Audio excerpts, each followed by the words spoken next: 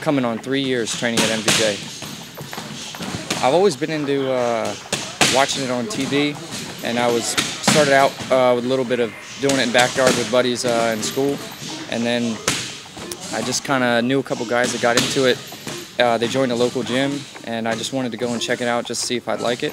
Ended up uh, falling in love with it, and uh, bounced around to a couple gyms, and finally found my way to MVJ, and that's where I call home now. Well, I was at a, a different martial arts school fighting, and uh, I, I, competed on the Ring Wars card a couple times. That's a Greg Pritchett show, and I was having a little bit of uh, a hard time at, at my gym where I wasn't really getting everything I needed. I didn't really have the, the coaching staff I needed. I didn't have the, the training partners.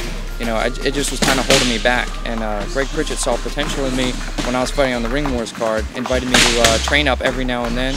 And then he ended up giving the uh, open welcome to join Team MVJ, and now I make the, the commute and been training here for a couple years now.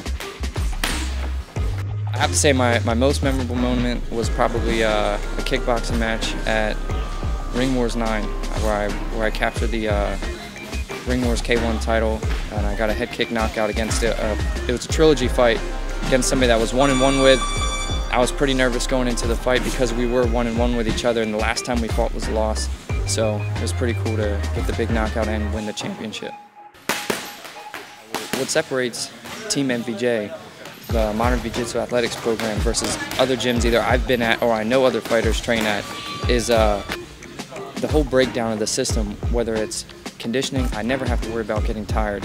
Whereas before I joined here, by that second and third round, especially the end of the second round, definitely the third, I was I was pretty gassed. MVJ, when I joined, I told him that was one of my main concerns. I don't want to be tired going to a fight. And he said, that's the last thing you have to worry about training here. We do conditioning, conditioning, conditioning. Also, uh, my technique has improved greatly. We have, uh, we constantly are going over uh, targets and where to aim and where to hit on the body, not just kind of swinging recklessly.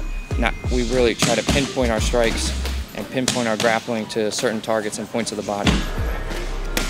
I, I think some misconceptions people have about martial arts or, or uh, competing in, in some sort of combat sport is that they think it's kind of like human cockfighting or something like that. They, they just kind of see two guys in there, whether it's a cage or a ring, and they're just trying to swing recklessly, when really it's, it's not like that at all.